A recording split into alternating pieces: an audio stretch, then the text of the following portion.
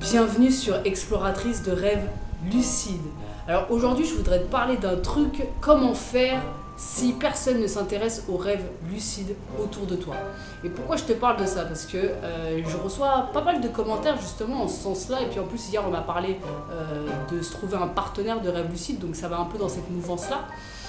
Euh, c'est vrai que souvent, quand on commence à s'intéresser aux rêves lucides ou qu'on fait des rêves lucides, bah, les gens autour de nous, nos amis ou notre famille ne s'intéressent pas forcément à ça. Déjà, euh, dans nos pays occidentaux, euh, on ne s'intéresse pas aux rêves. La plupart des gens, ils ont l'impression de ne pas rêver. Ceux qui euh, parfois se rappellent de quelques rêves, ils n'y prêtent pas beaucoup attention. Souvent, on leur donne simplement euh, euh, une signification un, un, petit peu floue. On ne sait pas trop d'où ça vient. Il y a quand même pas mal de concepts par rapport à ça. Et puis après, on va dire que l'interprétation des rêves euh, ou de la substance du rêve, hein, même pas que du symbole, de qu'est-ce qu'un rêve, où est-ce qu'on est quand on est en train de rêver, etc. Le cerveau, est-ce que c'est euh, euh, une autre réalité, tout ça, ou les deux. Enfin voilà, la, la vie c'est quand même un beau paradoxe souvent. peu importe en fait ce qu'on croit là-dessus, en tout cas, ça reste un domaine qui n'est pas beaucoup exploré dans nos pays en tout cas.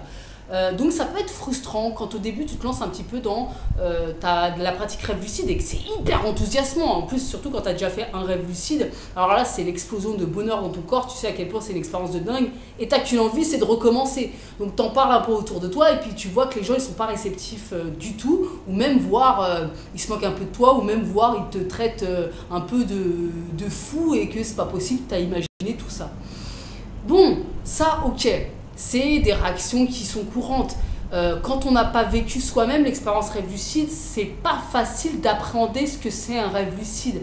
Il n'y a que l'expérience euh, qui peut euh, vraiment faire comprendre, faire, faire comprendre. En tout cas, il n'y a que l'expérience qui peut t'amener à réfléchir davantage sur ce qu'est le rêve lucide, ce que sont les rêves et peut-être ce qu'est notre réalité ordinaire. Si tu n'as pas vécu ça, ça reste quand même assez flou, assez abstrait. Donc déjà, faut pas en vouloir aux personnes qui s'intéressent pas à ça. Après, les personnes qui se moquent de toi, bon, dis-toi bien que ces personnes, même si c'est des personnes intimes, euh, voilà, sont pas ouvertes à ça. Euh, c'est pas grave, il y a peut-être des sujets sur lesquels elles sont ouvertes et toi, tu n'es pas ouvert dessus. Donc voilà, on a chacun un petit peu nos lunettes de perception, mets ça de côté, le prends pas pour toi, prends du recul et euh, c'est vrai, c'est dommage quand les gens euh, avec qui on traîne ou euh, les personnes intimes ne s'intéressent pas aux mêmes passions que nous, bah parce que peut-être que si on te renvoie l'image de toi d'être un peu fou ou d'imaginer tout ça, bah forcément tu te sens pas trop reconnu dans ce que tu es. Hein. C'est sûr, c'est une évidence en fait. Euh, maintenant voilà, on est tous uniques, donc c'est normal, on a des passions différentes, des centres d'intérêt qui sont différents. Euh, faut pas en vouloir à ces personnes-là, une fois de plus, elles ont peut-être des centres d'intérêt qui t'intéressent toi, pas du tout. Euh, maintenant ce qu'il faut faire, c'est se rapprocher, et c'est peut-être déjà ton cas, surtout si tu regardes cette chaîne, de, de chaînes, de blogs, de forums, de personnes qui vont parler de ça.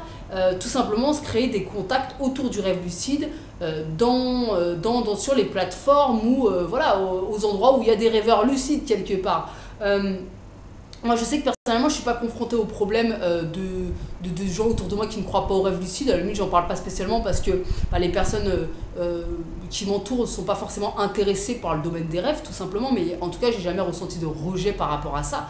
Donc je peux que imaginer ce que ça fait de se sentir, parce que c'est ça, il s'agit de ça en fait, il s'agit de se sentir rejeté. Ça c'est vraiment quelque chose euh, euh faut, avec lequel il faut prendre du recul et, tenter de se, de se raccrocher à des gens et à des, groupes de personnes. je veux dire, le besoin d'appartenance, il est assez naturel chez l'être humain.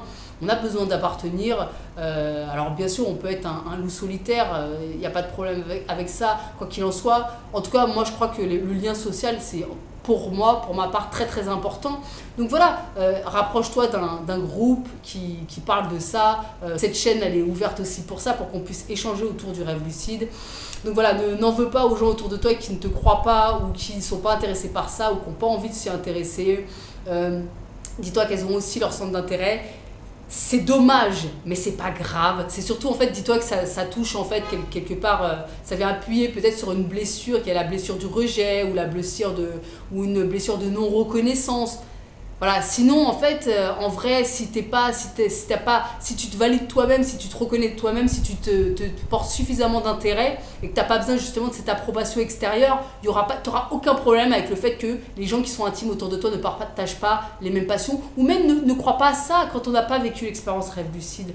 Euh, on ne peut pas savoir. On peut a encore récemment, je regardais une émission, c'était très intéressant. Il y avait un gars qui était un peu expert euh, dans le domaine des, rêves. Il avait étudié ça un petit peu euh, dans toutes les cultures du monde. Il avait une grosse connaissance là-dessus, quoi.